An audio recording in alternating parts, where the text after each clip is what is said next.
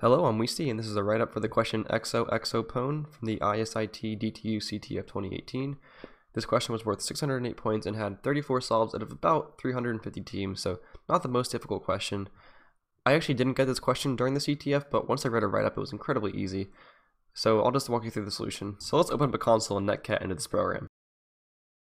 Alright, so it looks like we get to write our own function x. So it seems to interpret math, but I wonder what else it could interpret. At this point, I think it might just be a full-on Python evaluator, so let me try some other code. Yep, this is definitely a Python evaluator.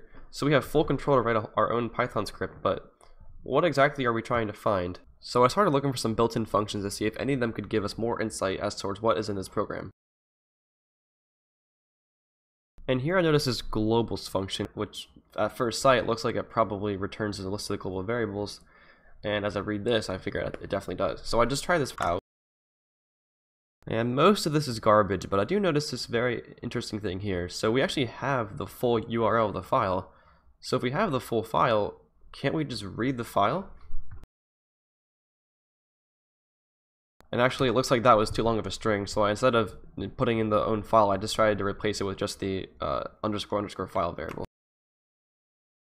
And there we have it, the full source code. So upon inspecting this code, this O function really sticks out to me, especially because there's a variable named secret, and also this key right here. And looking more into it, it actually looks like it's just a simple XOR. So what this program does is it takes our input A and XORs it with the key, which is that Python will help you open the door string, and checks if it's equal to the secret, which is that long hex value that we had.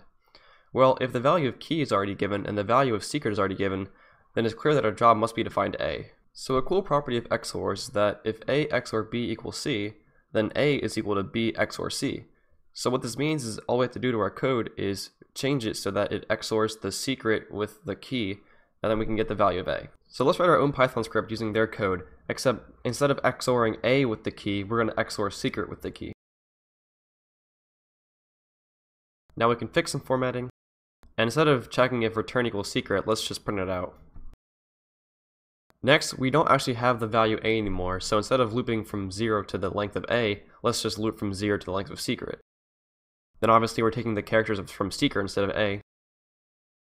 Next, this i mod length of a is there because if the length of secret is longer than the key, then it wants the key to loop back, but because we're no longer using a, we're just going to change that back to the length of key.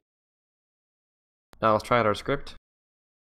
And there's our flag. Alright, well thanks for watching. Feel free to throw in a like or subscribe if you like my video and if you want more in the future. Bye.